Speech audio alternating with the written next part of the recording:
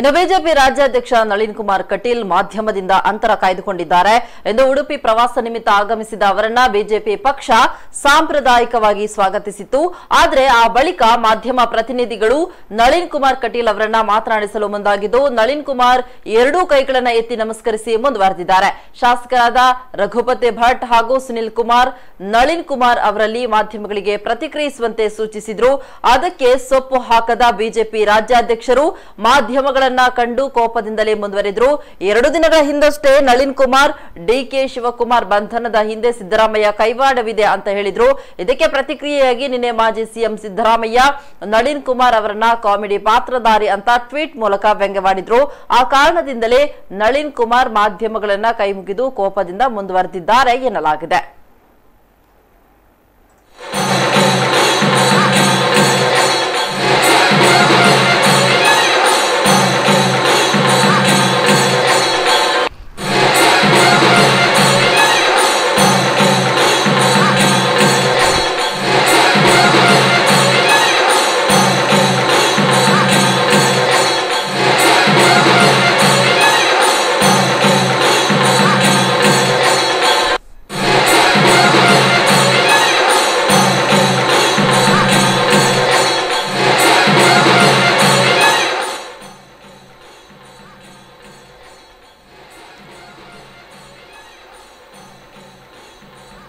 BJP ರಾಜ್ಯಾಧ್ಯಕ್ಷ ನಳಿನ್ ಕುಮಾರ್ ಕಟೇಲ್ ಮಾಧ್ಯಮದಿಂದ ಅಂತರ ಕಾಯ್ದುಕೊಂಡಿರುವಂತದ್ದು.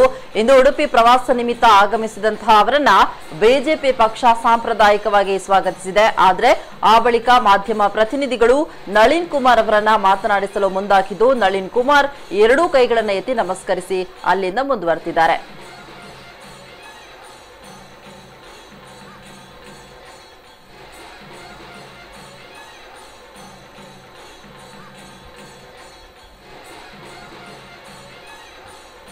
ಎಸ್ ಸಿ ಬಗ್ಗೆ ಹೆಚ್ಚಿನ ಅಪ್ಡೇಟ್ಸ್ ನೀಡ್ತಾರೆ ನಮ್ಮ ಪ್ರತಿನಿಧಿ ಪ್ರಮೋದ್. ಪ್ರಮೋದ್, ಇವತ್ತು ನೂತನ ರಾಜ್ಯಾಧ್ಯಕ್ಷರಾಗಿರುವಂತಹ ನಳಿನ್ ಕುಮಾರ್ ಕಟೀಲ್ ಅವರು ಉಡುಪಿಗೆ ಆಗಮಿಸಿರುವಂತದ್ದು. ಈ ಸಂದರ್ಭದಲ್ಲಿ ಕುಂದಾಪುರ ಶಾಸಕರಾಗಿರುವಂತಹ ಹಾಲಾಡಿ ಶ್ರೀನಿವಾಸ್ ಶೆಟ್ಟಿ ಗೈರಾಗಿರುವಂತದ್ದು. ಯಾವ ಕಾರಣಕ್ಕೆ ಇವರು ಗೈರಾಗಿದ್ದಾರೆ ಅಂತ? ಹಾ ಖಂಡಿತ ಅಂತ ಹೇಳಿದ್ರೆ ಇವರು ನಳಿನ್ ಕುಮಾರ್ ಅವರು ರಾಜ್ಯಾಧ್ಯಕ್ಷ ಏನು ಆಯ್ಕೆ ಆದ ನಂತರ ಪ್ರಥಮ ಬಾರಿಗೆ ಉಡುಪಿಗೆ ಇವತ್ತು ಆಗಮಿಸಿದ್ದಾರೆ ಅಂತ ಹೇಳ್ಬಹುದು ಇವತ್ತು ಅವರನ್ನು ಉಡುಪಿ ಏನು ಉಡುಪಿಯ ಗಡಿಭಾಗದಂತ ಯಜಮಾಡಿಯಲ್ಲಿ ಅಬ್ದೂರಿಯಿಂದ ಸ್ವಾಗತ ಮಾಡಲಾಯಿತು. ಅಲ್ಲಿಂದ ಏನು ಅಲ್ಲಿಂದ ನೇರವಾಗಿ ಜೋಡುಕಟ್ಟೆಯಿಂದ ಅವರನ್ನು ಮೆರವಣಿಗೆಯಲ್ಲಿ ಉಡುಪಿಯ ಏನು ಕಿದಿರು ಹೋಟೆಲಲ್ಲಿರುವಂತಹ ಶೇಷಯನ ಅಲ್ಲಿ ಅವರಿಗೆ ಅಭಿನಂದನಾ ಕಾರ್ಯಕ್ರಮವನ್ನು ಕಾರ್ಯಕರ್ತರು ಹಮ್ಮಿಕೊಂಡಿದ್ರು. ಆ ಸಂದರ್ಭದಲ್ಲಿ ಇಲ್ಲಿ ನಾವು ಮುಖ್ಯವಾಗಿ ಗಮನಿಸಬೇಕೇನಂತ ಹೇಳಿದ್ರೆ ಇಲ್ಲಿಯ ಏನು ಐದು ಶಾಸಕರಲ್ಲಿ ಆಲಾಡಿ ಶ್ರೀನಿವಾಸ್ ಅವರು ಕೂಡ ಒಬ್ರು. ಅವರು ಇವತ್ತು ಏನು ಈ ಒಂದು ಕಾರ್ಯಕ್ರಮದಲ್ಲಿ ಗೈರಾಗಿರೋದು, ಅವರಿಗೆ ಏನು ಆ ಒಂದು ಸಭಾ ಕಾರ್ಯಕ್ರಮದಲ್ಲಿ ಒಂದು ಕುರ್ಚಿಯಲ್ಲಿ ಅವರ ಹೆಸರನ್ನು ಹಾಕಿ ಆ ಒಂದು ಚೇರ್ ಅನ್ನು ರಿಸರ್ವ್ ಮಾಡಿಡಲಾಗಿತ್ತು. ಆದ್ರೆ ಆ ಒಂದು ಸಂದರ್ಭದ ಸಭಾ ಕಾರ್ಯಕ್ರಮದಲ್ಲಿ ಎಲ್ಲ ಆಸನಗಳು ತುಂಬಿದ್ರು ಕೂಡ ಆ, ಏನು ಆಲಾಡಿ ಶ್ರೀನಿವಾಸ್ ಶೆಟ್ಟರ್ ಅವರ ಏನು ಆಸನ ಅವರಿಗೆ ರಿಸರ್ವ್ ಏನು ಇಟ್ಟಂತ ಕುರ್ಚಿಯಲ್ಲಿ ಅದು ಖಾಲಿ ಉಳಿದಿತ್ತು. ಆದ್ರೆ ಎಲ್ಲ ಏನು ಕಾರ್ಯಕರ್ತರಲ್ಲಿ ಕೂಡ ಈ ಒಂದು ಒಂದು ಮನಸ್ಸಿಗೆ ಬೇಸರವನ್ನು ಕೂಡ ತಂದಿತ್ತು. ಯಾಕಂತ ಹೇಳಿದ್ರೆ ಆಲಾಡಿ ಶ್ರೀನಿವಾಸ ಶೆಟ್ಟರ್ ಅವರ ಅಭಿಮಾನಿಗಳು ಸಾಕಷ್ಟು ಜನರು ಈ ಭಾಗದಲ್ಲಿ ಇರೋದ್ರಿಂದ ಇವತ್ತು ಅವರು ಏನೋ ಒಂದು ನೋವಾಗಿ ಇವತ್ತು ಇವನ ಕಾರ್ಯಕ್ರಮದಲ್ಲಿ ಗೈರಾಗಿರುವುದು ಇಲ್ಲಿಯ ಏನು ಕಾರ್ಯಕರ್ತರಿಗೂ ಕೂಡ ಸ್ವಲ್ಪ ನೋವನ್ನು ತಂದಿರಬಹುದು ಆದ್ರೆ ಇವತ್ತು ಈ ಒಂದು ಕಾರ್ಯಕ್ರಮದಲ್ಲಿ ಅವರು ಭಾಗವಹಿಸ್ತಾರೆ ಎಂಬ ಒಂದು ನಿರೀಕ್ಷೆಯನ್ನು ಕೂಡ ಎಲ್ಲರೂ ಜನರ ಒಂದು ಎಲ್ಲಾ ಕಾರ್ಯಕರ್ತರಲ್ಲಿ ಇತ್ತು. ಆದ್ರೆ ಇವತ್ತು ಆ ಒಂದು ಕಾರ್ಯಕ್ರಮದಲ್ಲಿ ಗೈರಾಗಿರುವುದು ಕೂಡ ಒಂದು ಸದ ಏನು ಕಾರ್ಯಕರ್ತರಿಗೆ ಬೇಸರವನ್ನು ತಂದಿದೆ ಅಂತ ಹೇಳ್ಬೋದು. ಓಕೆ. ಅಂದ್ರೆ ಈಗ ಅಸಮಾಧಾನ ಅಂದ್ರೆ ಈಗ ಸ್ಫೋಟಗೊಂಡಿರುವಂತದ್ದು ಯಾಕಂತಂದ್ರೆ ರಾಜ್ಯ ನೂತನ ರಾಜ್ಯಾಧ್ಯಕ್ಷರಾಗಿ ನಳಿನ್ ಅವರು ಆಯ್ಕೆಯಾಗಿದ್ದಾರೆ.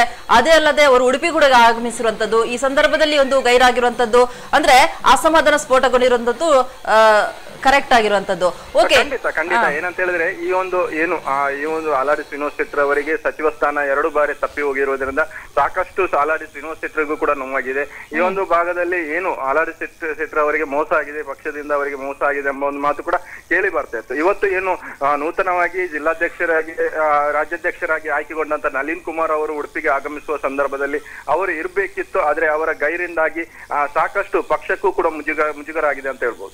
ಓಕೆ, ಇನ್ನೊಂದು ಕಡೆ ನಾವು ಇಲ್ಲಿ ನೋಡ್ತಾ ಇರುವಂತದ್ದು ಬೈಂದೂರು ಶಾಸಕ ಸುಕುಮಾರ್ ಶೆಟ್ಟಿ ಕೂಡ ಇಲ್ಲಿ ಕಾಣ್ತಾ ಇಲ್ಲ ಅನ್ನೋಂಥದ್ದು ಏನಾದ್ರೂ ಇವರು ಸುಕುಮಾರ್ ಶೆಟ್ಟಿ ಏನಾದ್ರೂ ಹಾಲಾಡಿ ಅವರಿಗೇನು ಬೆಂಬಲ ಸೂಚಿಸ್ತಾ ಇದ್ದಾರಾ? ಆ ಕಾರಣದಿಂದ ಇವರು ಗೈರಾಗಿರಬಹುದಾ ಅಂತ?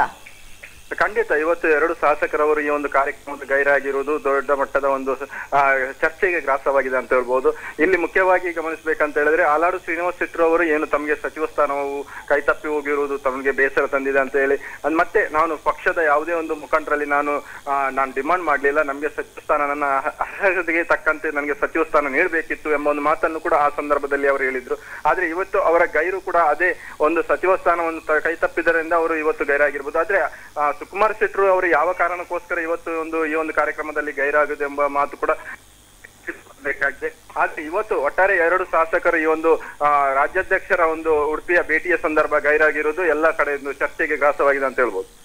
ಓಕೆ, ಇನ್ನೊಂದು ಕಡೆ ಈ ಇತ್ತೀಚೆಗೆ ನಾವು ನೋಡ್ತಾ ಇರುವಂತದ್ದು ರಾಜಕಾರಣಿಗಳು ಮಾಧ್ಯಮದ ವಿರುದ್ಧ ಕೋಪಗೊಂಡಿರುವಂತದ್ದು ಮಾಧ್ಯಮದಿಂದ ಸ್ವಲ್ಪ ದೂರ ಉಳಿಲಿಕ್ಕೆ ಪ್ರಯತ್ನ ಪಡುವಂತದ್ದು ಇದೇ ಒಂದು ನಿಟ್ಟಿನಲ್ಲಿ ಈಗ ನಳಿನ್ ಕುಮಾರ್ ಕೂಡ ಒಂದು ಮಾಧ್ಯಮದೊಂದಿಗೆ ಕೋಪ ಮಾಡಿರುವಂತಹ ದೃಶ್ಯವನ್ನ ನಾವು ನೋಡ್ತಾ ಇದ್ದೀವಿ. ಯಾಕೆ ಅವರು ಪ್ರತಿಕ್ರಿಯೆ ನೀಡಲಿಕ್ಕೆ ಹಿಂಜರಿತಾ ಇದ್ದಾರೆ ಅಂತ? ಖಂಡಿತ, ಇವತ್ತು ಏನು ರಾಜ್ಯಾಧ್ಯಕ್ಷರಾಗಿ ಉಡುಪಿಗೆ ಆಗಮಿಸಿದಂತ ನಳಿನ್ ಕುಮಾರ್ ಅವರು ಪತ್ರಕರ್ತರ ಮೇಲೂ ಕೂಡ ಸ್ವಲ್ಪ ಗರಂ ಆದಾಗಿ ಕಂಡು ಬರ್ತಾ ಇತ್ತು.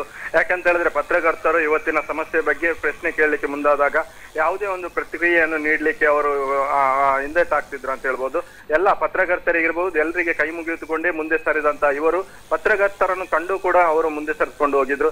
ಆ, ಇಲ್ಲಿ ಎಲ್ಲೋ ಒಂದ್ ಕಡೆ ಪತ್ರಕರ್ತರಿಗೂ ಕೂಡ ಒಂದು ಇವರು ಏನು ಬೇಸರ ತರುವಂತ ಕೆಲಸ ಇವತ್ತು ಈ ಒಂದು ಕಾರ್ಯಕ್ರಮದಲ್ಲಿ ಆಗಿದೆ ಅಂತ ಒಂದು ಮಾತು ಕೇಳಿ ಬರ್ತದೆ. ಆದ್ರೆ ಮುಖ್ಯವಾಗಿ ನಾವು ಇಲ್ಲಿ ಏನ್ ಗಮನಿಸಬೇಕಂತ ಹೇಳಿದ್ರೆ, ಇವತ್ತು ರಾಜ್ಯಾಧ್ಯಕ್ಷರಾಗಿ ಇವತ್ತು ಉಡುಪಿಗೆ ಆಗಮಿಸಿದ ಸಂದರ್ಭದಲ್ಲಿ ಸಾಕಷ್ಟು ಒಂದು ಇರುಸು ಮುರುಸು ಇರುವುದಂತೂ ಖಂಡಿತ ಅಂತ ಹೇಳ್ಬೋದು.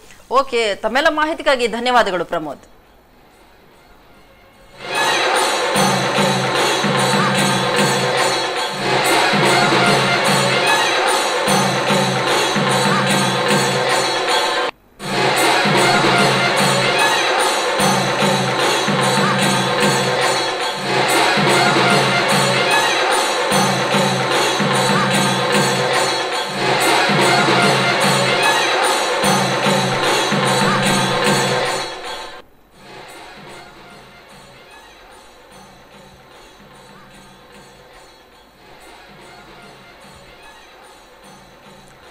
ಎಸ್ ರಾಜ್ಯ ಬಿಜೆಪಿಯ ನೂತನ ಸಾರಥಿಯಾಗಿರುವಂತಹ ನಳಿನ್ ಕುಮಾರ್ ಕಟೀಲ್ ಇಂದು ಉಡುಪಿ ಪ್ರವಾಸದಲ್ಲಿ ಒಂದು ಅಸಮಾಧಾನ ಕೈಗೊಂಡಿ ಸ್ಫೋಟಗೊಂಡಿರುವಂಥದ್ದು ಸ್ಪಷ್ಟವಾಗಿರುವಂಥದ್ದು ಉಡುಪಿ ಜಿಲ್ಲೆಯ ಐವರು ಬಿಜೆಪಿ ಶಾಸಕರಲ್ಲಿ ಇಬ್ಬರು ಶಾಸಕರು ಗೈರಾಕಿದ್ದಾರೆ ಇತ್ತೀಚೆಗಷ್ಟೇ ಸಚಿವ ಸ್ಥಾನ ವಂಚಿತರಾಗಿದ್ದಂತಹ ಕುಂದಾಪುರ ಶಾಸಕ, ಹಾಲಾಡಿ ಶ್ರೀನಿವಾಸ್ ಶೆಟ್ಟಿ ಹಾಗೂ ಬಂಟ ಸಮುದಾಯದ ಇನ್ನೋರ್ವ ನಾಯಕ, ಬೈಂದೂರು ಶಾಸಕ ಸುಕುಮಾರ್ ಶೆಟ್ಟಿ ಅವರು ಆಗಮಿಸದೆ ರಾಜ್ಯಾಧ್ಯಕ್ಷರ ಕಾರ್ಯಕ್ರಮದಿಂದಲೇ ದೂರ ಉಳಿದಿದ್ದಾರೆ.